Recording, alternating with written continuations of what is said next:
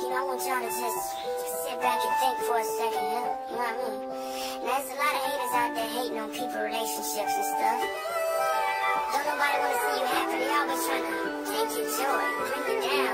No, no, no, no.